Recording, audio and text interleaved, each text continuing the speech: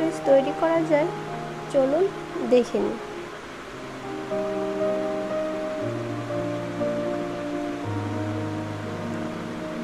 এর জন্য আমি নিয়ে নিয়েছি দু পিস বোনলেস চিকেন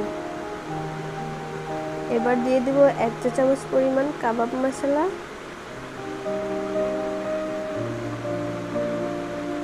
দিয়ে দেব এক চা চামচ পরিমাণ লাল মরিচের গুঁড়া।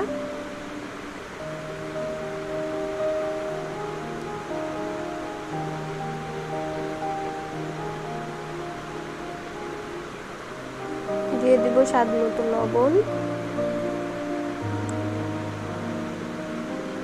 এবার দিয়ে দেব এক চা চামচ পরিমাণ তেল। এটা দিয়ে এবার ভালোভাবে মাখিয়ে নিতে হবে এবং দিয়ে দিব এক চা চামচ পরিমাণ ময়দা। দিয়ে এটাকে ভালোভাবে মাখিয়ে ম্যারিনেট করে রাখব। আধা ঘণ্টার জন্য ফ্রিজে রেখে দিব। এবার এটার পুর তৈরি করার জন্য, ভেতরে দেওয়ার পুর তৈরি করার জন্য একটা প্যানে তেল গরম করতে বসিয়ে দিয়েছি। এর ভিতরে দিয়ে দিলাম হাফ কাপ পরিমাণ পেঁয়াজ কুচি দিয়ে একটু নেড়ে চেড়ে নেব। একটু ভাজা ভাজা করে নিব। পেঁয়াজটা একটু ভাজা ভাজা হয়ে গেলে দিয়ে দেবো একটা চামচ পরিমাণ কাঁচামরিচ কুচি। দিয়ে আরেকটু নাড়াচাড়া করে নিব।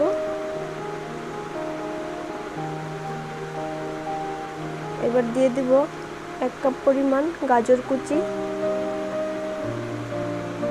দিয়ে ভালোভাবে নেড়ে চেড়ে নিব।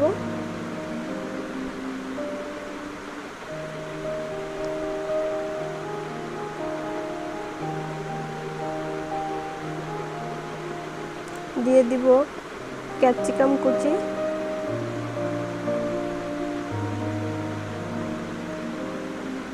টমেটো কুচি দিয়ে ভালোভাবে এটাকে ভাজতে থাকব। এ পর্যায়ে দিয়ে দিব স্বাদ মতো লবণ দিয়ে ভালোভাবে ভেজে নিতে হবে। দিয়ে দিব এক টেবিল চামচ পরিমাণ সয়া সস।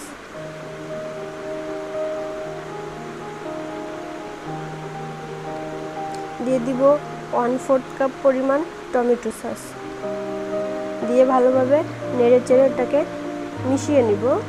এবার দিয়ে দিব সেদ্ধ করে রাখা থাই নুডলস দিয়ে ভালোভাবে এর সঙ্গে মিশিয়ে নিব।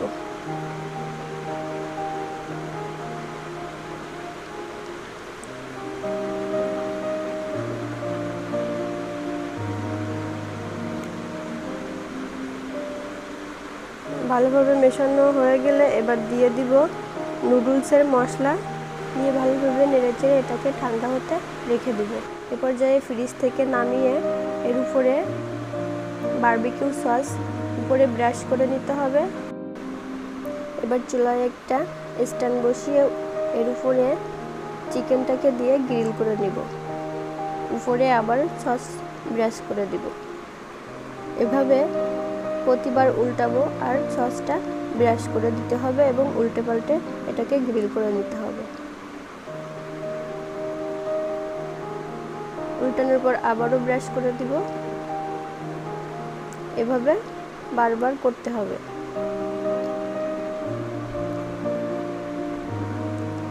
এই তো তৈরি হয়ে গেল চিকেন গ্রিল এবার এটাকে ডেকোরেশন করে নিব। এর উপরে দিয়ে দিব ম্যাওনিস স্টেপ বাই স্টেপ এটাকে সাজিয়ে দিব। ম্যাওনিসটা দেওয়ার পর দিয়ে দিব শশা। আমি গোল গোল করে দুই পিস শশা দিয়ে দিলাম। এবার দিয়ে দিব ঠান্ডা করে রাখা পুর। পুরটা দেওয়ার পরে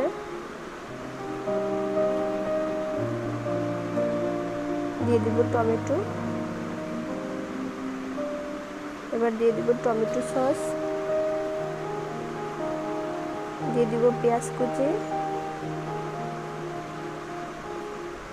দিয়ে দেব কিছু কাঁচামরিচ কুচি দিয়ে এর উপরে আরও একবার ম্যাওনিজ দিয়ে দিব।